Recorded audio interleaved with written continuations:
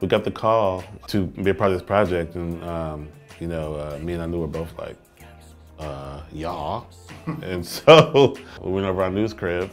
We did our pregame ritual that you know usually yields great uh, results for us, where we order catfish and have cocktails and just sit and socialize and kind of get on the same page. And um, we went in the studio. We had John Carter with us, uh, Steve Berkowitz, and um, we just looked over the poem.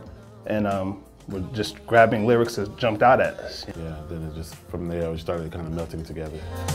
20,000 cells, dead and blind, down these lifeless valleys of my mind. I think Anu just laid down a drum beat that we liked, you know, and then I went into the keys and kind of played something, and um, Ro James, he's fresh, he's new. I just feel like there are so many superstars on the album. And Ro James is young, he's urban, and he's popping. I think with any great writer, they they tell their life and they display what they're going through in a way hoping that whoever's listening can relate. With Johnny Cash, we're listening to his songs and even reading some of his writings and you know, he was deep.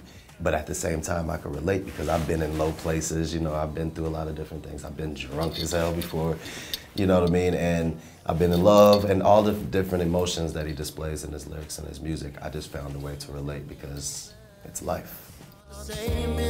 Uh.